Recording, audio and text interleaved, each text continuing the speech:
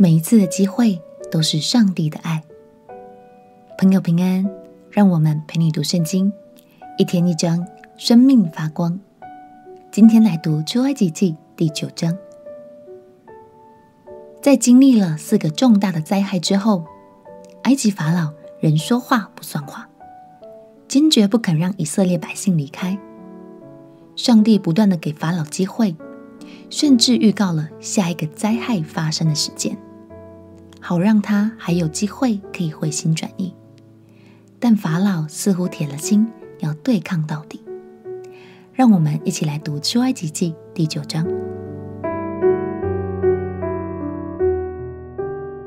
出埃及记第九章，耶和华吩咐摩西说：“你进去见法老。”对他说：“耶和华希伯来人的神这样说：容我的百姓去，好侍奉我。你若不肯容他们去，仍旧强留他们。耶和华的手加在你田间的牲畜上，就是在马、驴、骆驼、牛群、羊群上，必有重重的瘟疫。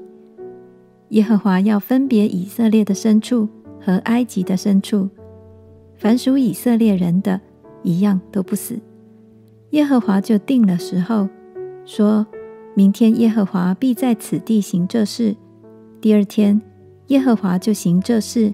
埃及的牲畜几乎都死了，只是以色列人的牲畜一个都没有死。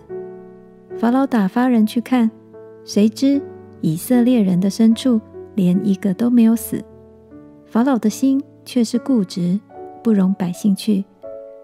耶和华吩咐摩西、亚伦说：“你们取几捧炉灰，摩西要在法老面前向天扬起来。这灰要在埃及全地变作尘土，在人身上和牲畜身上成了起泡的疮。”摩西、亚伦取了炉灰，站在法老面前。摩西向天扬起来，就在人身上和牲畜身上成了起泡的疮。行法术的在摩西面前站立不住，因为在他们身上和一切埃及人身上都有这疮。耶和华使法老的心刚硬，不听他们，正如耶和华对摩西所说的。耶和华对摩西说：“你清早起来，站在法老面前，对他说：耶和华希伯来人的神这样说：容我的百姓去，好侍奉我，因为这一次。”我要叫一切的灾殃临到你和你臣仆，并你百姓的身上，叫你知道，在普天下没有像我的。我若伸手用瘟疫攻击你和你的百姓，你早就从地上除灭了。其实我叫你存立，是特要向你显我的大能，并要使我的名传遍天下。你还向我的百姓自高，不容他们去吗？到明天约在这时候，我必叫重大的冰雹降下。自从埃及开国以来，没有这样的冰雹。现在你要打发人，把你的牲畜和你田间一切所有的催进来。凡在田间不收回家的，无论是人是牲畜，冰雹必降在他们身上，他们就必死。法老的臣仆中，惧怕耶和华这话的。便叫他的奴仆和牲畜跑进家来，但那不把耶和华这话放在心上的，就将他的奴仆和牲畜留在田里。耶和华对摩西说：“你向天伸杖，使埃及遍地的人身上和牲畜身上，并田间各样菜蔬上都有冰雹。”摩西向天伸杖，耶和华就打雷下雹，有火闪到地上。耶和华下雹在埃及地上，那时雹与火掺杂，甚是厉害。自从埃及成国以来，遍地没有这样的。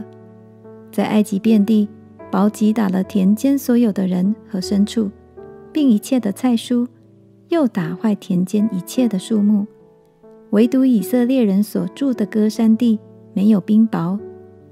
法老打发人召摩西、亚伦来，对他们说。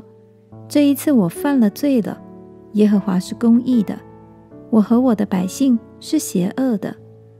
这雷轰和冰雹已经够了，请你们求耶和华，我就容你们去，不再留住你们。”摩西对他说：“我一出城，就要向耶和华举手祷告，雷必止住，也不再有冰雹，叫你知道全地都是属耶和华的。至于你和你的臣仆，我知道你们还是不惧怕耶和华。那时，麻和大麦被雹击打，因为大麦已经吐穗，麻也开了花，只是小麦和粗麦没有被击打，因为还没有长成。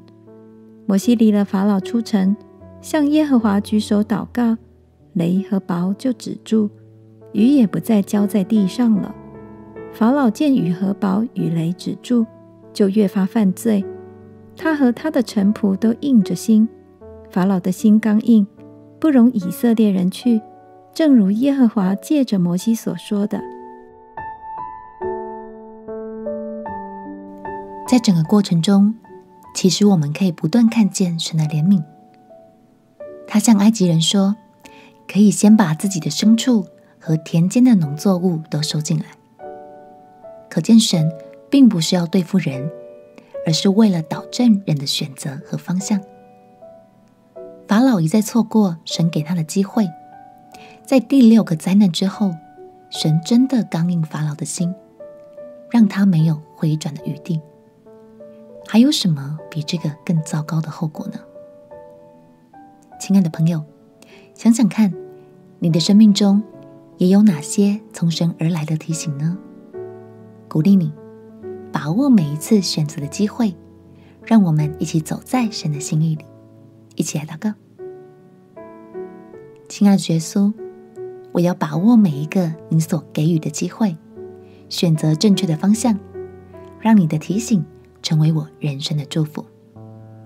祷告奉耶稣基督的圣名祈求，阿门。祝福你，每次读神的话语都能够回心转意。走在神正确又蒙福的道路上，陪你读圣经。我们明天见。耶稣爱你，我也爱你。